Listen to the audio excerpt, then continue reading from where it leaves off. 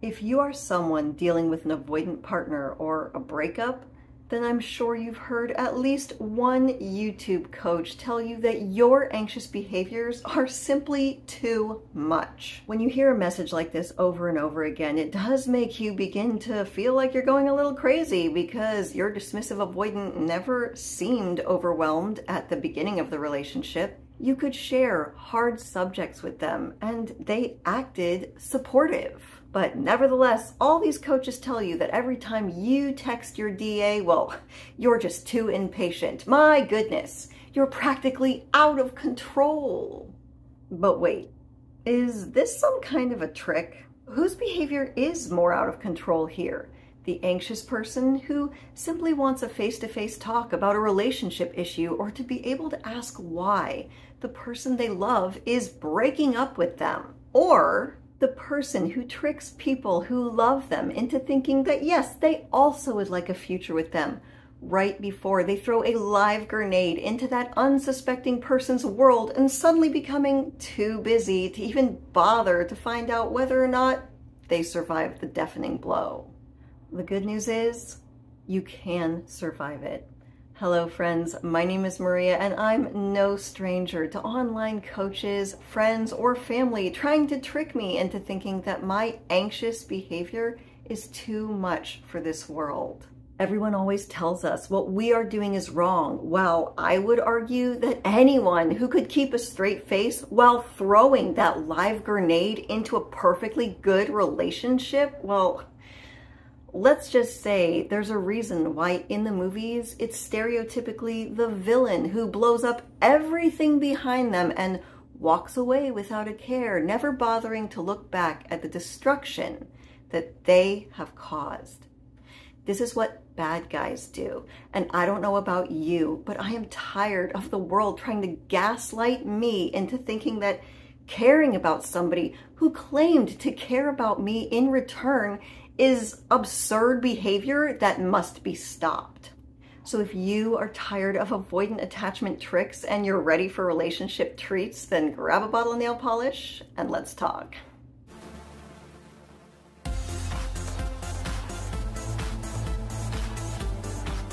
In the last episode, I briefly touched on a question from a viewer that I thought was a good one. He went through a traumatizing, blindsiding breakup with an avoidant woman who dumped him over a text message, and he wants to know, how the heck are you supposed to trust anyone that you date after going through something like that?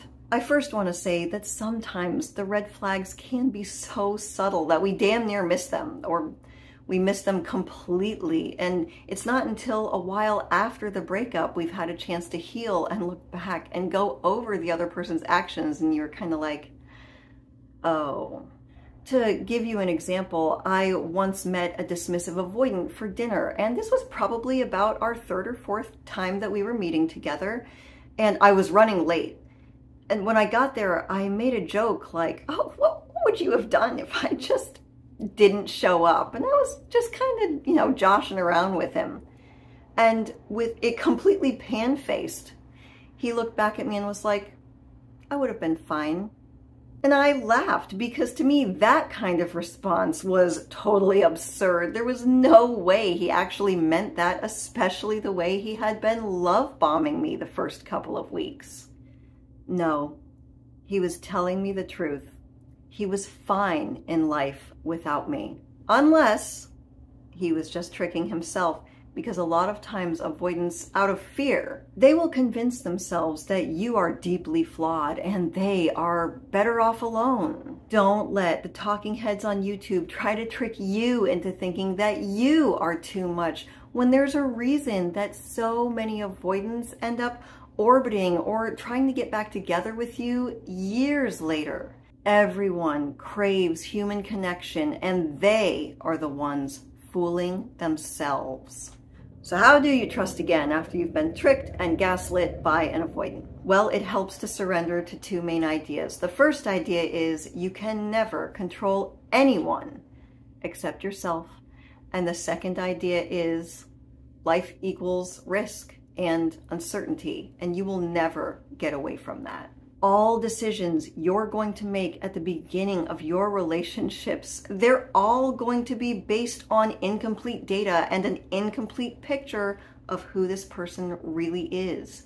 We don't really know anybody when we first meet them. But unless you're just willing to give up and never leave your house ever again, life pushes forward and it forces you to make decisions based on whatever data you have in front of you in that moment. So, what I would tell you is try not to focus on an exact perfect outcome and focus more on the direction that you would like your relationships to go. You know, is this relationship heading in the right direction? Because I want a serious boyfriend and he tells me that I'm fantastic, but it's been two months and he hasn't introduced me to any of his friends or family you know, people can hide their intentions with you and who they really are for a little while. So it's important to become comfortable with a degree of uncertainty. It's also important that you build the trust with yourself. So when the time comes, this person shows you their true intentions and who they really are, because let's face it, if you stick around people long enough, it will be revealed. You have to trust yourself enough to know that if they reveal something about themselves that does not resonate with you and you know it will not be good for you in the long run, you know that because you cannot control anyone else, you have the courage to change your direction. You build this trust in yourself by, you start with saying no to small things and then you begin to work your way up. Just for example, I once went on a handful of dates with a guy and I knew he had told me that he was a pretty big introvert, uh, so he didn't hide that about himself. But I noticed that after the first couple dates we went on, I realized he was only going out with me because he thought that's what I wanted to do, but he really didn't like that kind of social behavior and he really didn't enjoy crowds and music. And if it was up to him, we would just stay in all the time. And after a while, he did start asking me, even even when I was all dressed up and ready to go out, he'd be like, "Hey, would you care if we just stayed in tonight? I'm tired or I don't feel like being around a crowd." And it very quickly became a pattern. Now, I knew that it, it was real it was nothing against him as a person. But we just enjoyed two different lifestyles and I knew that in the long run the relationship wouldn't work out. You know, dating scenarios don't have to always end because of some kind of drama or trauma induced fear. Just work out what you would like in your dating life and then start standing up for the small things. Say no thank you to the kind of people who make you feel bad with their backhanded compliments, or say no thank you to the kind of people who take three days to text you back. Know yourself well enough to know what kinds of behaviors are going to be too triggering when it comes to keeping your inner peace in the long run and politely decline to go any further. When you get to a point in your dating life where the other person's intentions become clear and you know that uh, not going to work, the intentions are not what you're looking for in a relationship, and even though it sucks, and even though you don't want to, you are perhaps for the first time in your entire life able to pull the plug on that relationship and walk away. It is the most empowering feeling. And on top of that, because, you know, in the background, you've been busy healing, strengthening your social circles, strengthening your family connections, maybe doing some volunteer work, maybe getting into a fitness routine, maybe getting a new, uh, a couple of new exciting hobbies.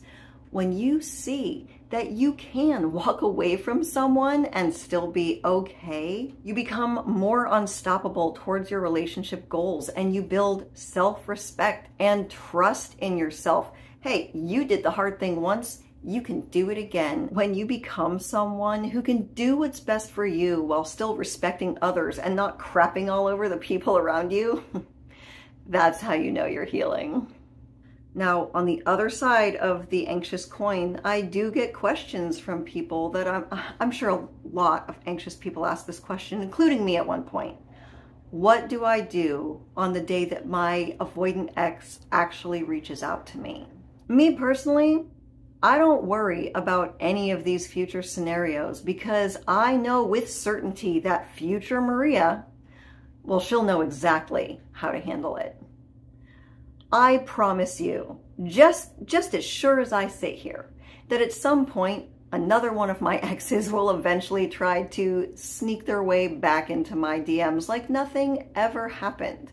But I can also say that I trust myself not to do anything to allow these jokers to come into my world. And that's how you have to think of it. This is your life. They're coming into your space. This is your world. I'm not going to let them come into my world and begin to emotionally push me around. I've made my boundaries in advance. I've already thought about scenarios like that and decided that I'm not going to clown around with it. So if that scenario ever happens, I'm going to respond with my boundaries and not react with my emotions. And as an aside, in case no one's ever told you this, just because your ex messages you or claims to have changed or says that they want you back, you are under no obligation to give them an answer right away. And it's probably better if you don't. But even if you never hear from your dismissive ex ever again, don't let that trick you into thinking that you did something wrong simply by wanting to connect with somebody. And back to what I was saying about, you know, if you're in a place where you're still asking, oh, it's my birthday in a couple of months, what do I do if my ex reaches out? Just know that there's nothing wrong with asking questions. And if you do have a question or you'd like my uh, encouragement or specific brand of advice on your relationship situation, I do have a Patreon and you're always welcome to come visit me. I'll link to that down below. But I will say, if you are still in that kind of a place, it means that you are not comfortable with life's uncertainty. You're still coming from a place of fear and you're just not quite healed, and over the breakup yet. You haven't built up a certain level of trust with yourself yet, and that's okay. You know, I had a viewer in the comments last week, and they put it so beautifully.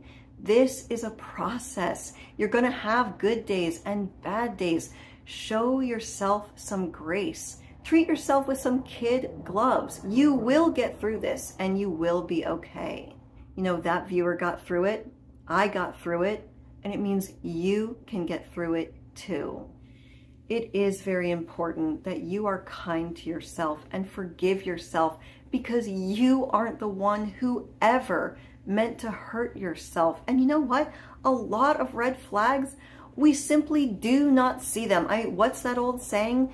You can't see red flags when you're wearing rose-colored glasses. And did you know that if you have a history of trauma in relationships, the red flag, you can actually have something that's called trauma blindness. And I'll go ahead and link a video that discusses that, as well as a few red flags I've missed along the way down in the description below. I've got another way of looking at things for you, which surprisingly helped me with a scarcity mindset, and it helped me not get so attached to people who weren't treating me very well. And that is not seeing my attachment wound as a flaw, but as a part of me and a part of who I am, and in a weird way, a bit of a superpower. Because if you can love and attach to one person, then no matter what happens in that relationship, you can love and attach to someone else because that's your attachment. It is part of who you are. Don't get caught up in this you know, scarcity mindset where you are tricked into believing that this one person is the only person for you, your twin flames, and no one else will ever be able to fill that spot in your life because of my scarcity mindset, even when guys were treating me like a jerk, I never thought I'd be able to find somebody else. And it kept me stuck in relationships with guys who made me feel anxious because I could tell they didn't have that same level of excitement of like wanting to talk to me on a daily basis. Stuck in relationships with guys who would purposefully try to make me feel jealous by making little jab comments right in front of me about how cute other girls were. Well, Welcome to the other half, where we know attraction is not just about looks. We also have to take care of the inner half Because back then, when those guys were trying to make me feel insecure about the way that I looked or the way that I was showing up in the relationship by pointing out all the other hotties around, it totally worked. It made me feel like I wasn't good enough. I had to try harder. I had to be hotter. Well, guess what? These days, I would never go out with a guy who was making it a point to check out other girls right in front of me. I'd be like, yeah, okay, boss, you want a hot girl? Have fun go get you one. People who love and care more are more valuable in relationships and don't let anybody try to trick you into thinking it's the other way around. I challenge you to make your self-development the goal and let go of wanting to control the outcomes or trying to predict this perfect future and instead focus on the direction that you would like to go. Build that confidence and trust in yourself and keep your list of boundaries on you as a guide that you can continuously refer back to. So if the day comes where you do start to feel a little confused and like you're about to get knocked off of your path, don't panic. Pivot. If this video helped you, so will this one. My name is Maria Adriana. You did not have to live my life, but I certainly hope you can learn something from it. As always, thank you for visiting. The other half.